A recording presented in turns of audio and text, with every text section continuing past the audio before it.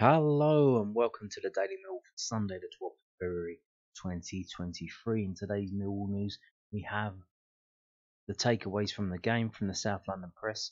This is at londonnewsonline.co.uk. Millwall takeaways from 2 1 win at QPR. Long wait for Loftus Road win ended. Watmore and Burke deliver first goals as Mitchell celebrates a milestone. Millwall fifth in the Championship. After a 2 0 win at QPR yesterday, here are Richard Cawley's takeaways from the match. Party like it's 1989. That's pretty clever. Pretty clever. The last time that the Lions had won at Loftus Road, it was the year when the Berlin Wall came down. The internet was about to become a thing, and the first episode of The Simpsons aired. What I'm trying to say is it's been a bloody long time uh, waiting for three points in that particular neck of the woods in West London. Uh, Millwall failed to win their nine previous away matches against the R's, and it would have been more than a few of the supporters used to pain there who feared the worst when Chris Martin halved the deficit late on. Yes, it was squeaky bum time, wasn't it? Uh, QPR came into the fixture winless in their last seven games, and from the early stages it felt like the visitors had every opportunity of increasing their woes on Neil Critchley's side. The Lions' away form has picked up since uh, they recorded their first victory on the road Preston North End on November the 12th, winning three of their last five since. They have already equalled the amount of away wins they managed last season, five, and they still have eight fixtures away from SE16 to go in the regulation campaign. Let me just repeat that again because this is absolutely important. One of the reasons we didn't get into the playoffs last season was our away form was absolutely dog shit. Mill have equalled the amount of away wins that we managed last season five. So all we've got to do is get one more win, and it's better than it was last season. So that that objective, which I'm sure I think Gary Rowett definitely spoke about uh, previously, and it would have been mentioned in the videos I, I bring to you here, that's been achieved. Okay, we need to improve our away form. That's been achieved, and look where we are. We're fifth. We're fifth. So, problem, solution, Fixture. Solved. Fixed it. What more could you want? Ha ha ha ha his name's Watmore, you get it? Duncan Watmore was handed his first league start for Millwall yesterday, the only change made by manager Gary Rowett. It was an enforced switch with Mason Bennett out with the ankle injury he sustained against Sunderland the previous weekend. The former Middlesbrough and Sunderland attacker was flagged offside for a couple of early raised forward, but then produced a thumping finish in the 31st minute. Zian Flemming slipped the ball into his path and Watmore had the time, space, and luxury of taking a touch before searing a left-footed strike past helpless Rangers keeper Seny Dieng. Burke off the bench. Both of Mill's major incoming January signings got on the score sheet at the weekend. Oliver Burke had not hit the back of the net since August for Werder Bremen in a Bundesliga fixture against Borussia Dortmund. Was a simple conversion from close range after QPR's defence made a real hash of clearing once Charlie Cresswell had flicked on Zian Flemming's long throw. Burke's pace and power makes him a really effective substitute to bring on in the closing stages, and he should have had a decent, uh, should have had a second in the closing stages, managing to stay on his feet as an R's player attempted a foul, only to put his shot wide of the target. Yes, and that that messed up my my prediction of three one. Uh, Wriggle Room. Millwall head to Coventry City on Tuesday night before uh, about before about what? Millwall head to Coventry City on Tuesday night before about as tough a pair of back-to-back home matches. Oh, I think there should be a comma in there somewhere. No, Millwall head to Coventry City on Tuesday night before they play about as tough a pair of back-to-back home matches that you could get: Sheffield United and Burnley. The pair powered well uh, clear at the summit of the Championship and look almost assured of Premier League returns. But the Lions have lost just once in their last eight league games, winning four and drawing three, and that gives them a little bit more leeway. Yes, they will absolutely want to get returns over the next 10 days, but it is also not going to be a complete disaster if they don't. Sheffield United and Burnley are powering along, but Millwall have the fourth best home record in the division they won't go down not swinging at the very least. Well, we still have the fourth best home record in the division, and we've been drawing too many home games recently. Hull, Wigan, uh, what was the other one? Sunderland. Well, that was a ref's fault, to be honest with you. Um, so yeah, but you're looking at it like that. How about we look at it the other way? If we beat Sheffield United, we get three points. We deny them three points. We gain on them by three points. We close the gap on them by three points. Now, are we going to reach Burnley? Probably not, but we want to reach Sheffield United. Because if you get fin, I don't know if you know this, but if you finish second in the league, you get automatically promoted. Wouldn't that be nice? Um, so yeah, you could look at it one way, you could look at it the other way. There's a picture there that Millwall put on Twitter after the game. And you can see the squad there. No, looks like it's taken straight after. They gave Billy Mitchell a shirt with 100 on it. So I don't know if they do that for everyone else because I'm sure there's a few players there who got 100 games. Um, Leonard Malone, uh, uh, Murray Wallace, Cooper probably. Maybe it's something they do at the training ground like that. Uh, Mitchell milestone. Billy Mitchell made it 100 appearances for Millwall when he featured at the weekend. The midfielder told our paper recently that he ran around like a headless chicken on his debut, but there's absolutely no doubt that he's matured into a very good championship midfielder. He must be one of the first locked positions on Rowett's team sheet. Mitchell and George Saville are strong pairing in the middle of the park, both of them tending to sit deeper, a requirement when playing a 4-2-3-1 formation. The pair were joint first for interceptions in the QPR game, with Mitchell second highest for attempted tackles. And more on that later as we get into the stats, but yeah, defending was done higher up the pitch. Um, so let's move on to this from southwarknews.co.uk. Millwall boss wants more goals from out wide after new signing scored against QPR. Uh, Duncan Watmore and Oliver Burke scored for the first time since joining the lines at the end of the January transfer window. Um, so let's see what Gary Rowett's got to say here. Gary Rowett said it was really satisfying to see his two new signings on the score sheet at QPR, although he wants his wingers to contribute uh, with more goals and assists in the coming weeks. The Lions won 2 1 at Loftus Road. Yeah, we know all about that. Uh, not only was Rowett pleased to see his new arrivals finding the back of the net, but he also highlighted the importance of his wide play scoring and creating goals more often after Mill failed to sign a striker in the January transfer window.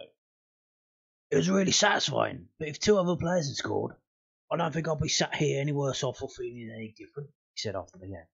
We spoke about it before. If you're a wide player and you're in our team, you've got to work your socks off for the team as well as provide attacking moments. This season, I think George Honeyman, clearly after last week, is unlucky to not have scored more goals. Voggy's been unfortunate to score more goals. But we've got to step up and score more goals in those areas. It's as simple as that. Whoever plays there, whoever comes in, that's what you need.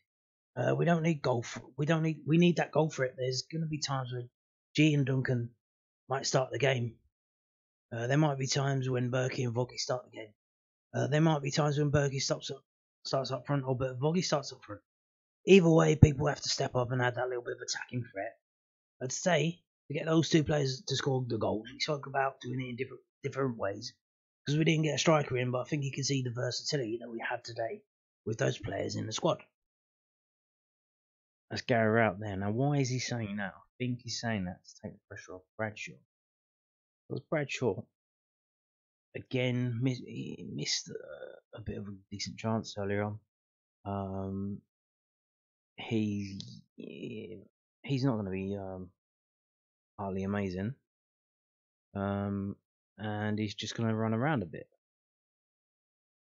So you need the goals to come from elsewhere. I think he realizes that if we're relying on Bradshaw,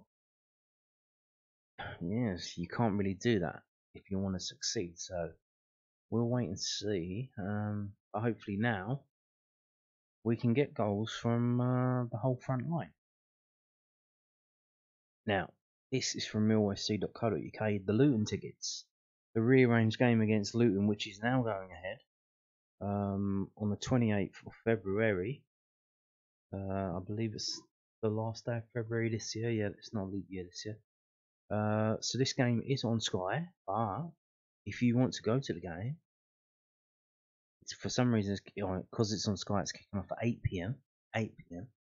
Uh, Mill will travel to Luton in the Sky Bet Championship on Tuesday, the 28th of February, kick off 8 pm, and tickets go on sale to season ticket holders with 650 or more loyal points from 9:30 a.m. on Monday, the 13th of February, so tomorrow.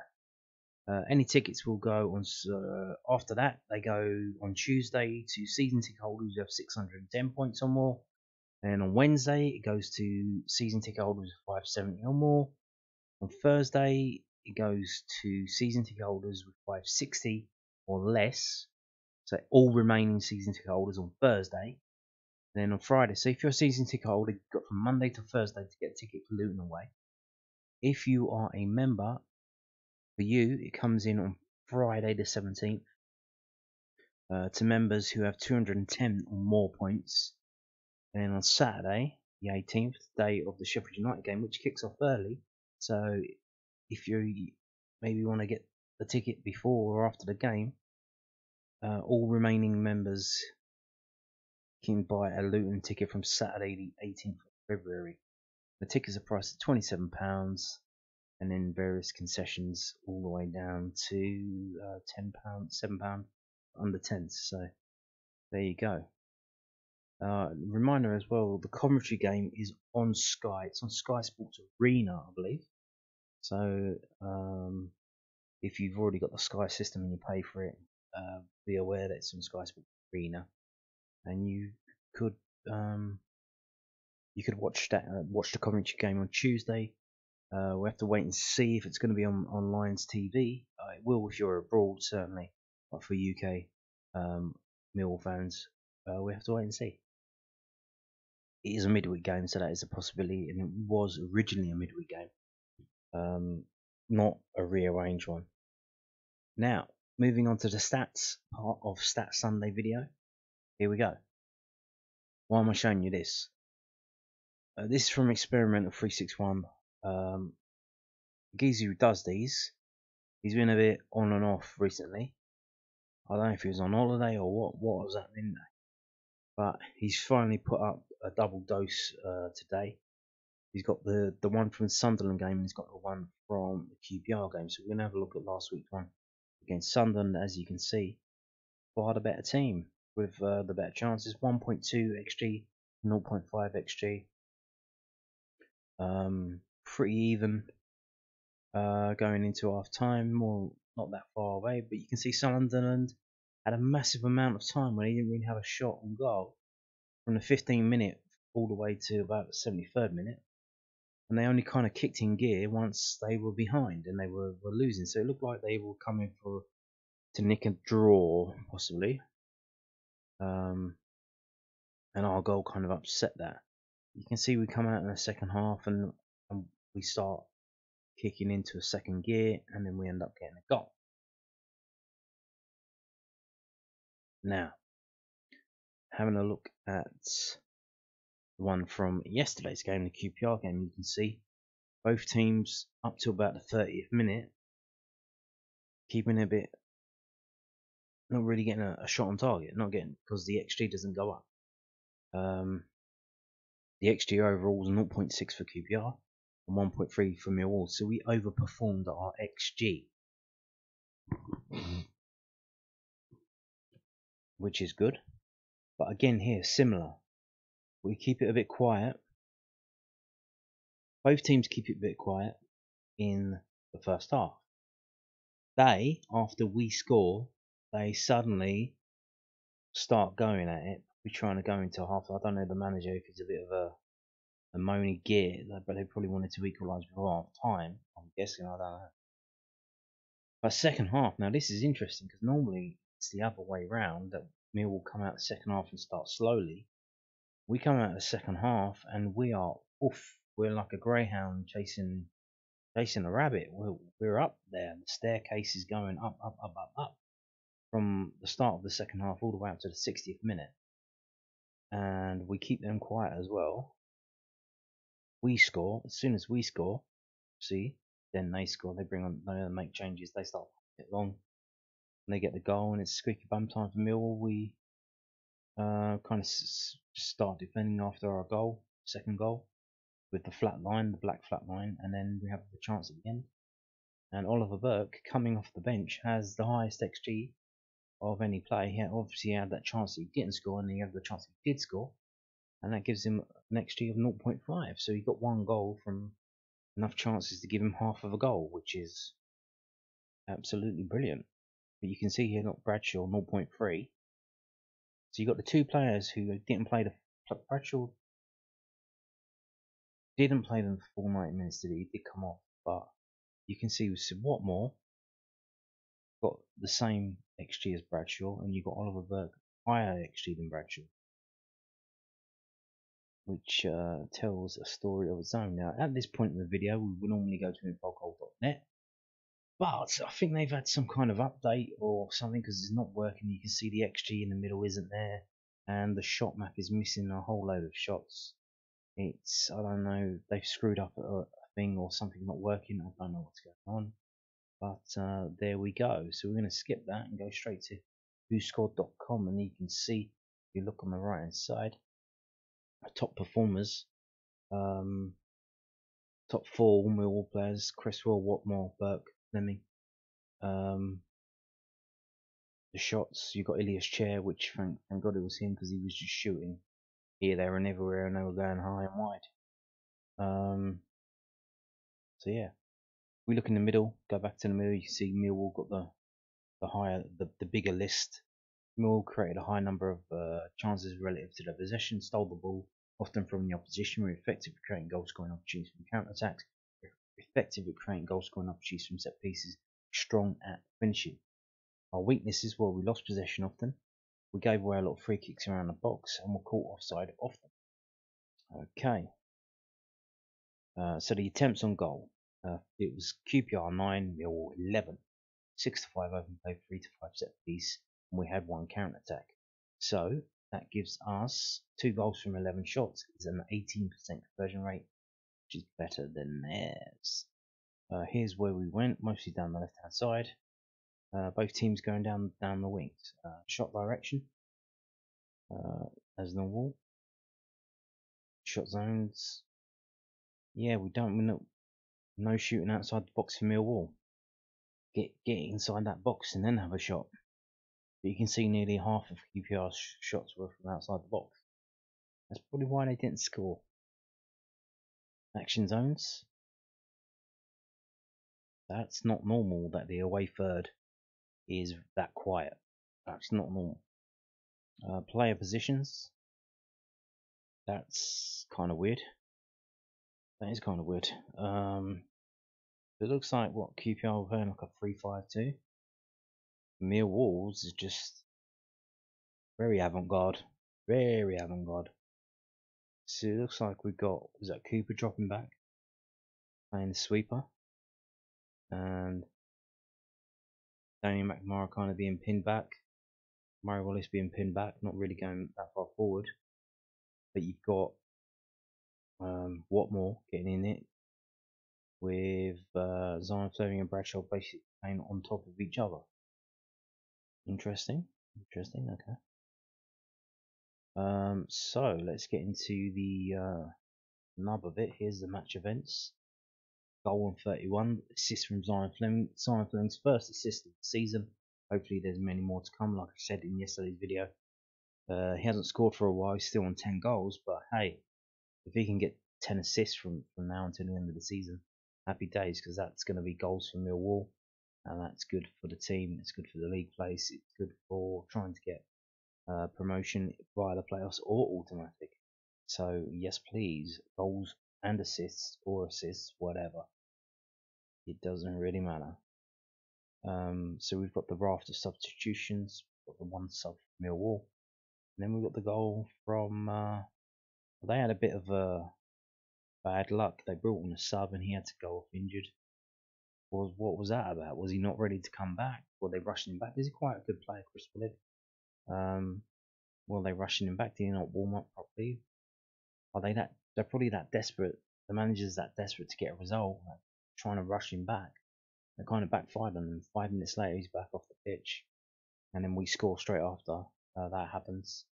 Um, Honeyman gets booked. And then late we got the late subs at the end. Uh, Mill trying to hold on, and hold on they do. So let's have a look and see who did what in the game. So here we go. If you look at the top left and top right, you see the club badges. You see the average player rating. It's 6.47 QPR, 6.78 for Millwall, which is a difference, uh, a bit of a difference. Not totally um, blown away, but we were the better team. Um, man of the match, as I said, given to Cresswell uh, with 7.6. We've got George Long again with a low score, 6.0. Um, I'm guessing that's because QPR didn't have many shots on target. They actually scored one goal. We can check on that uh, in the next page that I bring up. Um, in terms of other players, we've got who have we got? We've got Flemming, Mitchell, Saville, Watmore on sevens.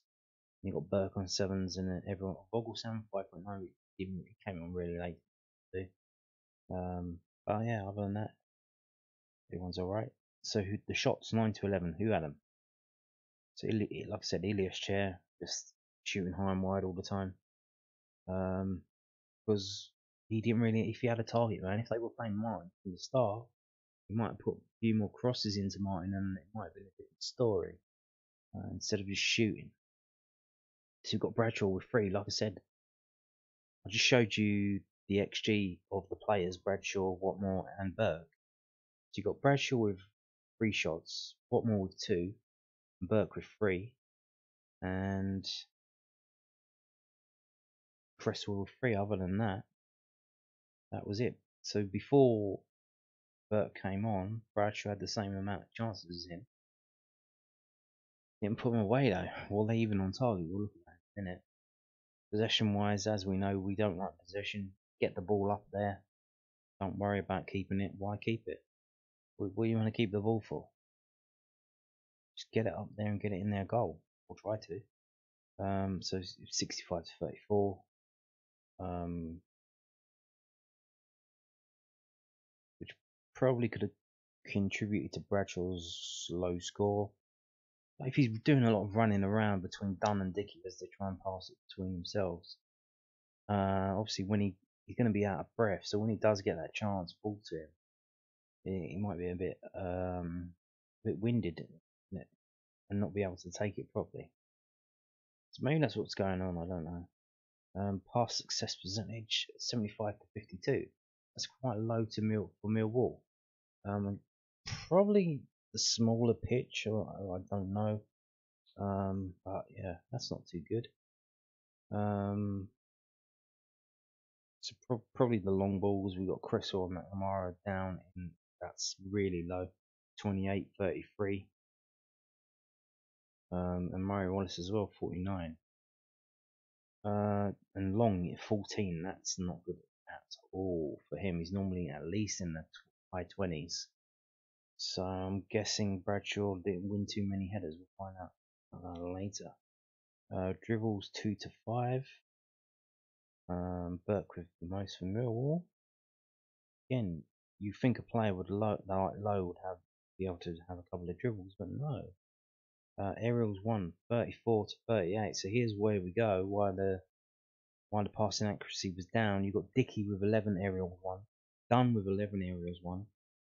And even though Bradshaw and Flemming got 5 and 4, that's what, 22 to 10. So that's why you've got Cresswell and McNamara pumping balls long, and they're being won by the QPR central defenders. That's the reason why the pass uh, success percentage was way down it's normally around 78 or so, down to 52. But we still won the game, so who cares, huh? So everybody won an aerial of the starting 11 except for Long and Honeyman. And even Burke won two when he came off. Uh, tackles won, 16 to 21. Everyone won a tackle for Millwall except for Long, Flemming, Bradshaw, Watt. Interesting. So Shackleton, when he got on, he, he wasn't that long on the pitch, got one tackle. Good, good, good, good. But you've got Honeyman and Mitchell with the most, and Saville with the most tackles. But the, the tackling has been done in the middle of the pitch, higher up, uh, not in defence. So that's that's very helpful as well, isn't it? Uh, probably, like I said again, because of the smaller Loftus Road pitch, maybe that's what that was about. Um, corners four to three. dispossessed 12 to 10, so basically having the ball taken off of you. And that's a lot for QPR, isn't it? Basically everyone. Um, crazy. So let's have a look and see about some of what I've just said. We're going to have a look at that. So, how many shots did QPR have on target? They had nine. They had two shots on target. Again, 50% of the shots on target went in. Now, this time it was a bit better because uh, Long actually got his hands on the ball. He was on the goal line, he got his hands on the ball, didn't get his hands on Nagiz's face. I think if he would have punched Chris Martin in the face and knocked him out, probably could have been a penalty. Maybe got sent off. Because um, if that happened in the last game, the referee's probably going to look at that and say, well, if you've done it two games in a row, it's probably not accidental. So, but he stayed on his line, he got his hands to it, but he's still winning. So that's why George Long got a low score because there were two shots on target and one of them went in, which isn't 50% save rate is not good, is it? Um, so let's go down and look at the ratings for the Mill players. Uh, we have 7.64 for Cresswell, what then what more, and then Oliver Burke, then Zian Flemming, Billy Mitchell, and then George Saville. You see, you got six players, seven or more. Um, then it goes down a bit. You got Ryan, so Ryan Leonard 6.28. So yeah, look, you've got you've got Ryan Leonard who came on in the 91st minute, basically had injuries, got a higher score. Know how. For two touches, for two touches, and he got one key pass. And that gave him a higher score than George Long, who's had was he got passing accuracy of 13.6 and 27 touches. That's not good. The only one but then you've got Voglsammer who came on, didn't get as high a score as George Long will go above him, but 5.8 5.87, four touches in would, would have been like 10 minutes or so. So there you go. Um, so interestingly, so you got Burke come on. He came on 67 minutes, replacing Duncan Watmore. Uh, got three shots, got two shots on target. Uh, had 14 touches. So he's had, what he's had? He's had 30 minutes on the pitch. He's had a third of the time that Duncan Watmore's had on the pitch. And he's just underneath Duncan Watmore. So Watmore 7.32, Oliver Burke on 7.30. Not bad, not bad. Um, to mill shots, how many did we actually have on target? So, like I said, we only had four players who had shots. So everyone else was like on defensive duty. Maybe was Charlie Cresswell being used instead of Jake Cooper's Cooper a decoy? Were they using Charlie Cresswell as, as an alternative because they knew that they, Jake Cooper was going to be targeted? If if so, that's very uh, interesting and probably pretty clever thing to do. Um, again, so we've quite a few shots on target actually, except for Bradshaw. Look, Bradshaw, three shots, zero on target. And that's why you've got probably, dare I it, why you've got Gary Rowett in the story that we just said saying we need to get goals from somewhere else. And he's saying, well, he's basically saying, look, uh, we can't rely on Bradshaw because he's going to score a hat trick against Rotherham and he's not going to score against QPR despite getting three chances. Um, but fair play to him. Look, he runs around a lot. That's kind of criticism that was thrown at Lee Gregory. It's like, what would you rather have? Like, the worst one is players who aren't very good and don't run around a lot, especially strikers, like tall ones who just stand up there and don't really bother you can see if you watch the game and you watch them instead of watching where the ball is, you see they don't really move a lot. But to have a player who's doing a lot of running, doing a lot of chasing down, and doing a lot of closing down, all that stuff, tackling and stuff, yeah, why not? Why not? It does mean we need to get goals from somewhere else. So, so in terms of, so we had four players having shots, and so only three of them had shots on target. So we had what was it, eleven? 11 shots and 5 on target. That is that's pretty good. Half of the shots were on target. Fantastic. Pretty, pretty good. So, offsides. Apparently, we were offside a lot. Three times, I suppose. Um, unscheduled touches, which is poor ball control. Uh, defensively, tackles. Saville, Mitchell, Honeyman, and then goes down to Murray Wallace. So you put, like I said before, higher up the pitch to tackling zone. Interceptions, Saville, Mitchell, and then McNamara, all joint. So there you go. Clearances, Cresswell, Billy Mitchell. He's listed there as a DMC. So wasn't playing DMC in this game. Uh, Jake Cooper, Murray Wallace, George Long, Ryan Leonard. Lock shots, probably none because they only had two shots on target. So there you go. Um, passing wise, so who had the most passes? Murray Wallace, Billy Mitchell. Like I said, passing accuracy was way down for us. Uh, Billy Mitchell was normally the, the leader in this for us. Um, instead, we've got three players joint. Weirdly, 19 passes for Cooper, Honeyman, Flemming. They're all on the same accuracy. It's kind of weird.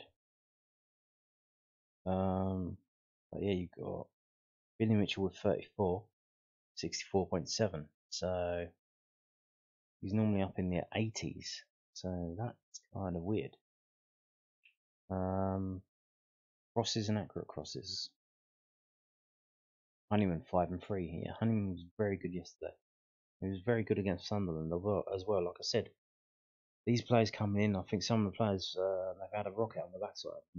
Okay, um, need to perform here because it's it's okay being first choice or your second choice, but you start being third or fourth choice, and you you you, start getting in the realms of am I even going to be on the bench this weekend?